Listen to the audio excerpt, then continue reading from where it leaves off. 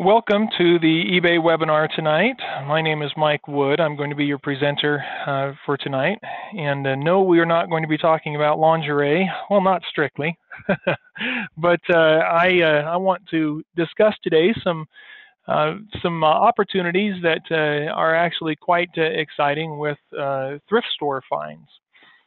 Now, uh, in my series of webinars, I talk a lot about uh, uh, surplus items, uh, liquidation items, and uh, other creative finds that are available out there. And oftentimes, something that people overlook is thrift stores, yard sales, and garage sales, and, and things like that. And so, I want to talk a little bit about some of those uh, opportunities and, and possibilities. And uh, one that came to mind was from a, a student of mine that uh, um, told me about vintage nightgowns uh, that uh, she had sold. And uh, this was some time ago, but so I've done a search here for that to just um, show some some possibilities there. So. Uh, and uh, there we go. So here's uh, one example, a vintage uh, lace nightgown um, that sold for $25. Now let me give you a little backstory so you understand what, uh, why I'm uh, bringing this up and, and where the idea comes from. this student of mine that I was teaching was fairly aggressive and really wanted to make this work, and so she was doing as much research as she could not just with our program and what I was teaching, but uh, reading articles and looking at uh, the eBay forum and, and uh, uh, other resources like that. Well, as she was out looking at all of this, uh, she came across an article about vintage nightgowns being a great item to sell on eBay. Now, it happened to be just before Halloween. That may have been something that had a boost on it. But as you can see here, we have vintage nightgowns uh, listed and selling even right now as well. And we're nowhere near Halloween. So that's obviously not the only time of year that this type of item is going to sell. So anyway, she uh, she was telling me about this story, and she happened to have a vintage nightgown in her basement in uh, storage. And so that was the first thing she thought of as uh, she was reading this article is, oh, I think I've got some of those. And uh, she went down in the, to the storage boxes, uh, old clothing that she had in her basement, and pulled out this nightgown and listed it on eBay. And sure enough, it sold. And I think she made 20 or 30 bucks on it. And that kind of got her excited. And uh, then she thought, where can I get another of these items? And that's where thrift stores came into mind. And so she went into a, a local Goodwill or thrift store in her area and looked around for vintage nightgowns. And sure enough, they happened to have some hanging on the racks there. She picked one up for $25 and another for 50 or sorry, not $25, 25 cents. 25 cents and another for 50 cents. So 75 cents spent, 75 cents invested in her business, and I came home and took some pictures of them, listed them up there on uh, eBay, and one of them sold, uh, I believe, between 25 to 30 dollars, and the other one sold for over 40 dollars. So that was an item that uh, for her worked really well, and uh, it uh, it made her some money. You know, she sold the one that she had. She sold uh, um, two that she picked up from thrift stores that she was uh, willing to go out and look at. And so, uh, you know, there's uh, one item that uh, can be a great potential seller. Uh, and uh, depending on you know how elaborate it is, uh, you've got uh, different prices that might uh, occur. Now, as we look at these, uh, let's look at this one for example. You notice this was listed as a buy it now. And something else I want you to notice is there's no indication of price um, for shipping. There's no shipping cost listed here. Um, it doesn't say free shipping like this one right up here. And so that means there was a shipping cost on that. Well, we can see what the shipping cost was by clicking on the item. We come in here and uh, they charged a reasonable $3 shipping on that. So $28 total for the sale price on that. Now, for me, the way I do my listings, I would probably put that as a uh, free shipping item um, because that's generally how I do things. Is I'll just, uh, you know, I'd rather list that as uh, a $28 item or $27 and include the shipping in it. Okay. So and then let's go down and, and, look at this one. Now this one was done as a uh, as a bid, and uh, they've got uh, 13 bids on that, went up to 179.99. And if I saw that right, I think they uh, did free shipping on that one. Okay.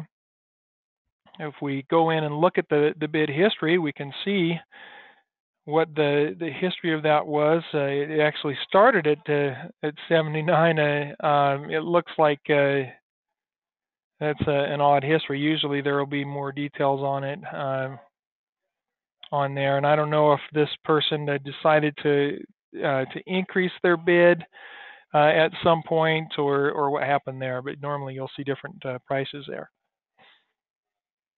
So um, the picture uh, apparently was taken with a, some kind of a, a black uh, material in the background or something um, with lighting uh, uh li um, lighting up the item. They have a, a mannequin piece there and uh, probably have a string attached to these corners pulling it out so that you can really see the item. So they've displayed it very well. Now that's you know that's great if you can do a good image like that. Uh, any uh, anything you can do to make the image stand out is going to be helpful. Uh, but as you can see, we had others that sold. Uh, you know, here's one that that sold that was just hanging up uh, in front of a window. Now that does uh, show how sheer it is, shows the light through it, but ultimately this approach would be better because it's going to give you a better focus on the item and, and the colors of the item rather than having it backlit and having uh, highlight behind it. Um, so I, I, would do something where you don't have so much light uh, behind it there. Um, here's another one, and again they've uh, they've pulled the the corners out to really show that there, and uh, uh, and that one had a buy it now price, but it looks like somebody bid on it at the starting bid price at 16.99 and sold it. Now again, not a huge uh, price, but what if you were to pick that up for 50 cents at a thrift store? Now what's your return on investment? Okay, so recognize the value there. That's uh, that's what I'm hoping you'll see is to to realize that there is some great value with this uh, this type of approach. Okay. Uh, let's uh, let's just scroll down and see if we see a few others uh, on there that have sold. There's another one that uh, that sold, and and notice the variation here too.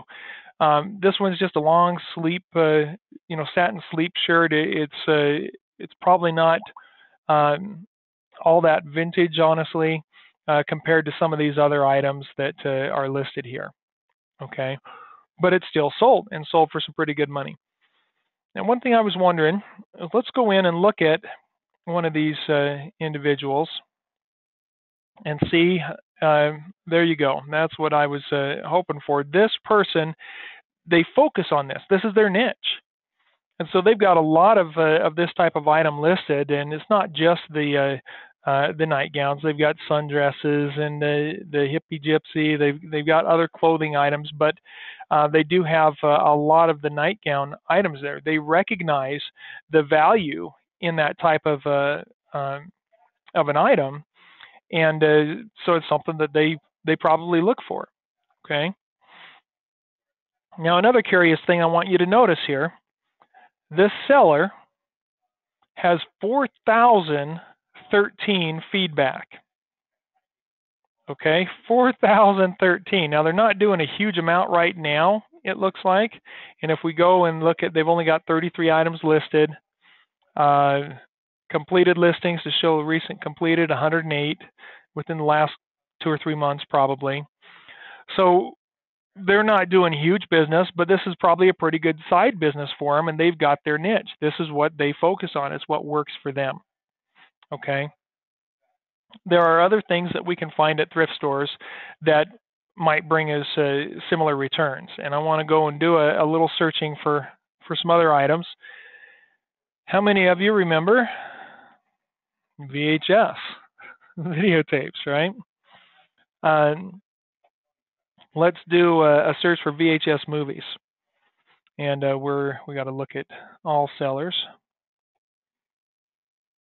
All right, so here we've got VHS movies. We'll look at the completed listings. and see what uh, what's selling. You know, here's a Leprechaun VHS that sold for $9.99 plus shipping, charged $4.17 for shipping, and that just sold today for buy it now. Okay. Uh, so what does that tell you? Well, it tells you that you know first somebody's probably thinking of that because of uh, uh, St. Patty's Day, right? And, and it's uh, the leprechaun uh, idea is uh, uh, is recently on their mind. But that's an item that you could look for at a thrift store and expect to sell. And so we can scroll through this just looking to, to find. In fact, we don't ha- even have to scroll through to find those that sold. We can go over here to sold listings 75,313 items for VHS movies that have recently sold. And there you've got all the titles of movies that uh, are on VHS that people have uh, have sold recently. And so that's an item that you can see uh, oftentimes at the thrift stores. And uh, you know, with something like this, I think it's a good idea to to get an idea of what is selling, research it a little bit, maybe write down some of these titles, and then go and look to see if you can find the items. Uh, another option is if you are browsing at the thrift store, looking at the items, use your phone. If you've got the eBay app on your phone, that's huge for you. And that way you can research to find out right then and there is this particular item selling on uh, on uh, eBay. Now I noticed something here. Look at this 1985 Thundercats. Right down here, Thundercats. So two that sold today, and uh, we can we could go in and do a little research on this for see how uh, definitive this is. VHS movies, Thunder, Thundercats 13 on recent sales. Okay, between January and, and uh, March, 13 items uh, that are Thundercats have sold. Okay, so if we go over and uh, change this to completed listings, so we're not just looking at uh, the sold items, there we can see that 18 completed with 13 of them selling. So all but five sold. Well, that's pretty good.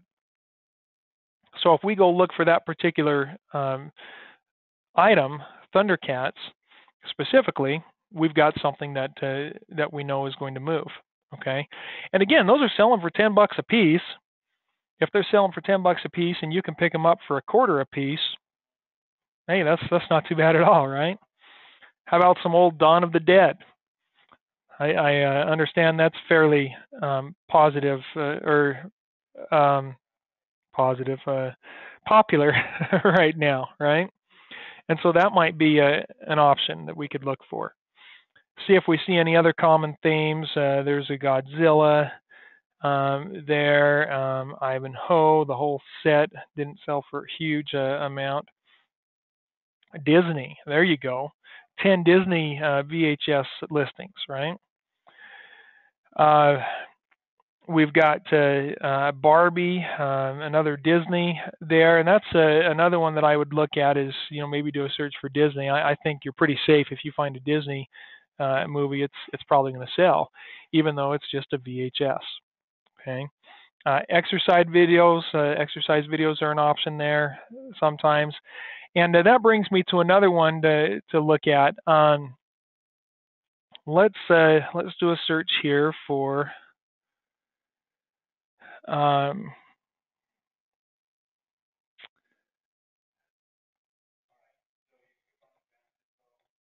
motivational speaker. All right. And here we've got uh, um, some different motivational speakers that uh, have sold. Now these are uh, um, this one here, if you tape, you know these are on cassette tape, right? Uh, audio cassette. Um,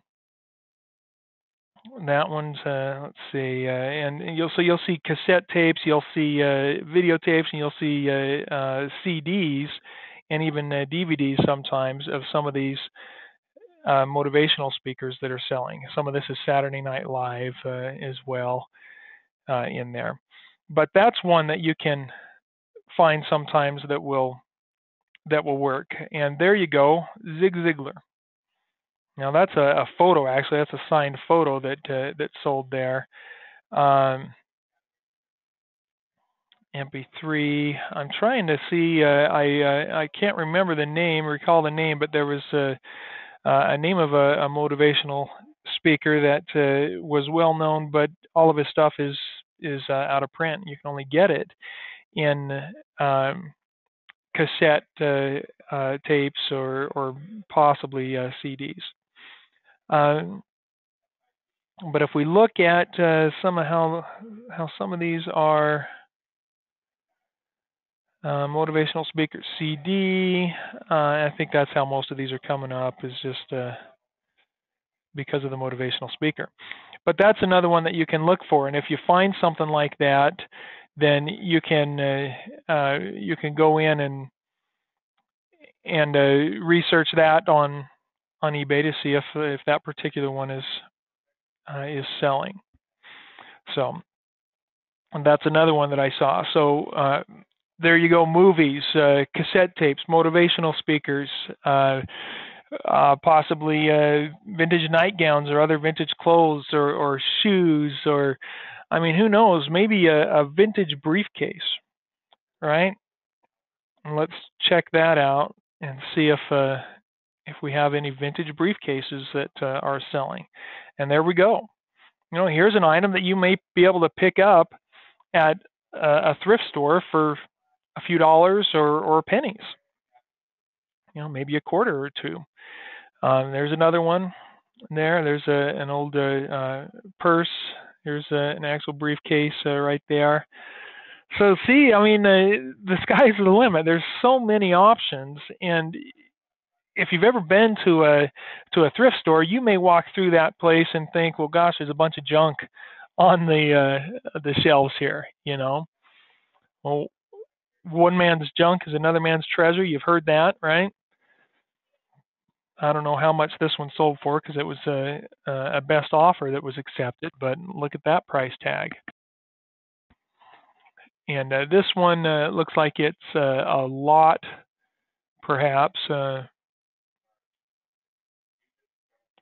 so, um, but and that may not be a, a, true vintage item. It might be a um, a remake or something. But but anyway, you can see there are some great uh, options and opportunities here. Look at that, you know, $69.99, and again, probably something that you could pick up for a few dollars at a yard sale, a garage sale, an estate sale, a flea market, or your thrift store or Goodwill. There are a lot of uh, options there, a lot of potential.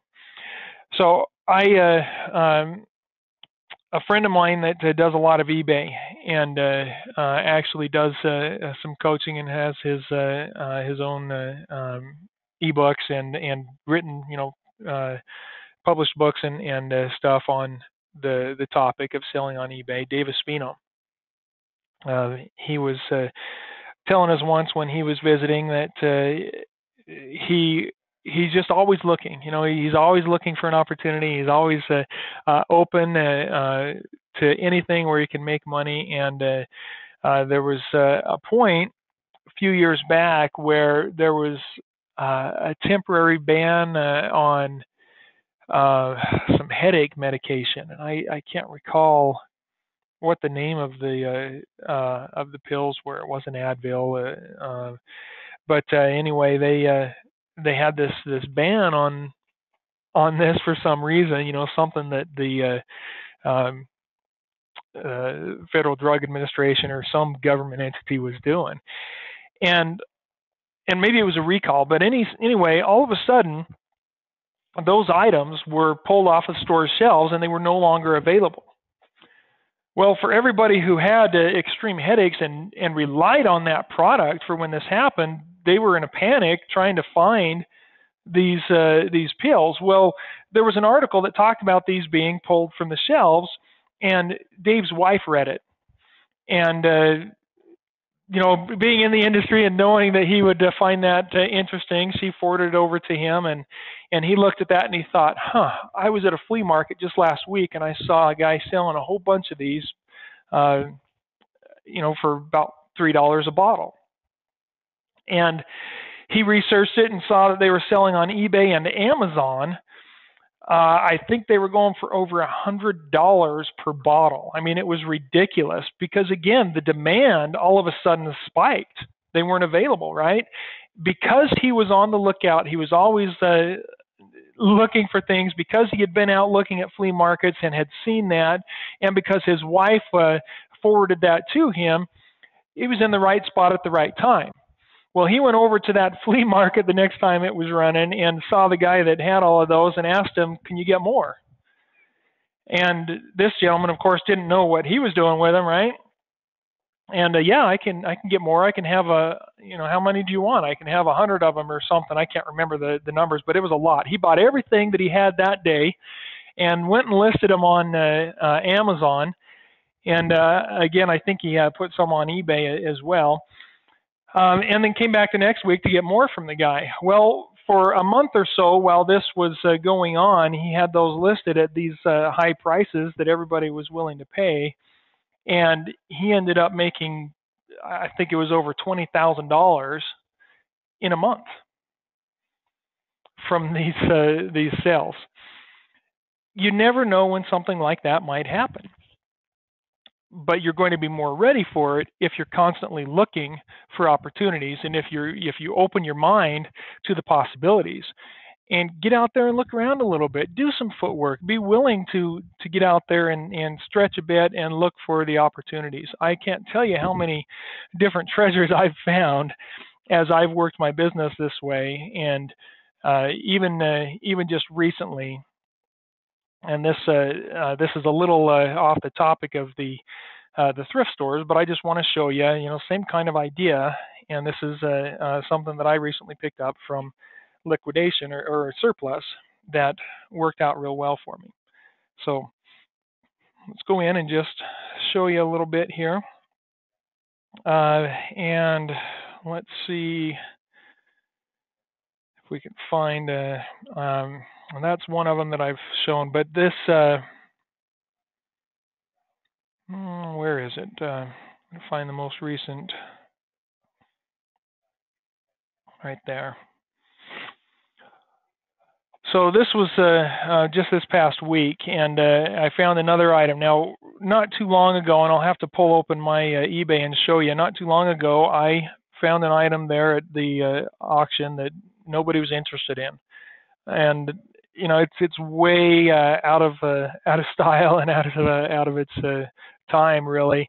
But it was uh, old flip phone cases um, for small cell phones, and uh, they were there one week, and I I saw them, but I didn't you know didn't really think much about it. I didn't want to mess with them. They're they're old. I looked on eBay. They I didn't see any selling, but the next week they were still there and I thought, okay, well, I can, you know, I'll, I'll put a five dollar bid on this box of 200 of these cases, see what happens.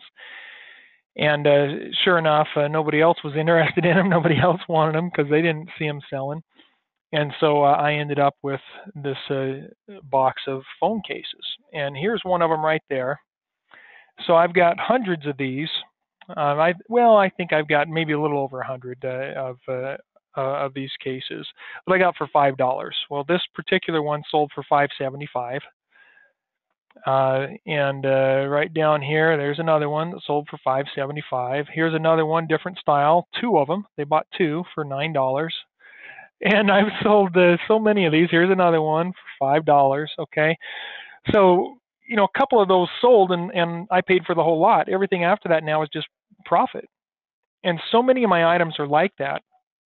Uh, here's a little cell phone case that I've got that uh, that sells the same kind of way. Uh, you know, with the uh, where it was a, a, cheap purchase and and uh, selling over and over.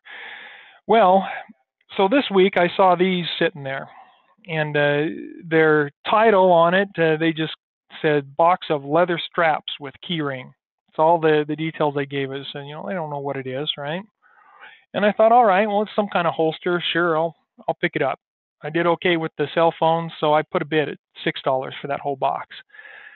I've got uh, 330,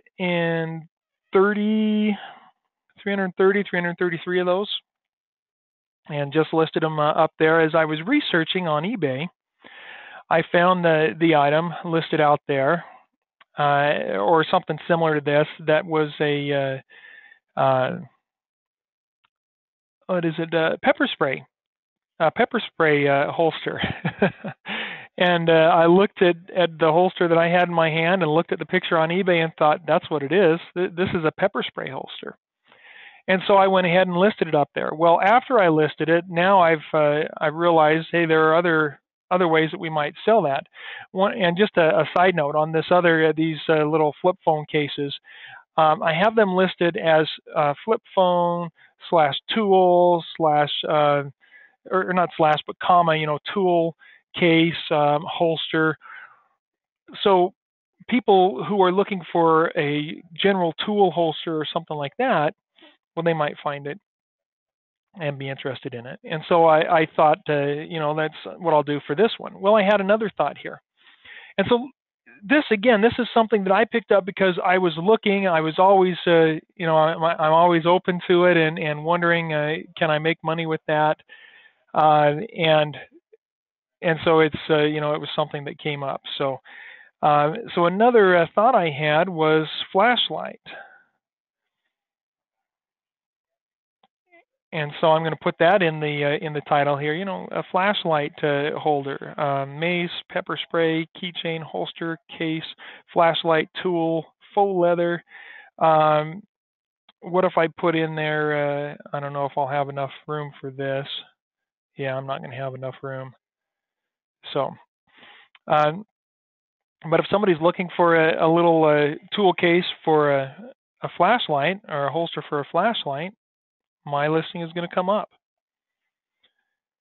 And so now I've got uh, not only uh, uh, an opportunity to sell this as a mace uh, case or holster, but possibly a, a, a, tool, general tool holster, a uh, flashlight uh, holder, uh, and I could list it multiple times. You know, if I wanted to go in there and say, okay, I'm going to sell a similar item.